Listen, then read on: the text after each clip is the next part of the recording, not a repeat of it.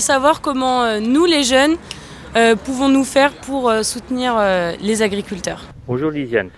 Aujourd'hui, les jeunes, s'ils veulent nous aider, s'ils veulent nous soutenir au niveau du monde agricole, soit ils viennent sur nos exploitations découvrir nos modes de travail, nos façons de s'occuper de, des animaux, notre façon de travailler dans les champs, comment on intervient sur les cultures, comment on applique nos traitements pour protéger les plantes, comment on nourrit les plantes, comment on nourrit les animaux, les contraintes qu'on a, etc. Et ils peuvent aussi manger local, manger euh, des produits qui sortent des exploitations en, en circuit court, c'est-à-dire en vente directe, comme les agriculteurs qui font de la viande, tout ce qui est légumes, tout ce qui est fruits.